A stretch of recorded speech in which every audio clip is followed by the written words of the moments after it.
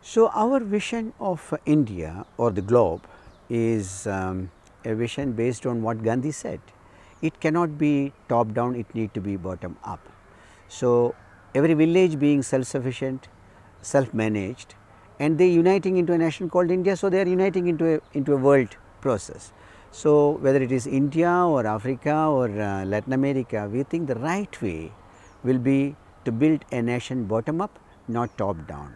What is happening today is a lot of decisions made at the top, imposed on people, which they do not even understand why those decisions are taken. So, I think this is not the way a ideal world can be built, in which there should be more participation of people, they should have a, have a say in how their life and resources need to be managed.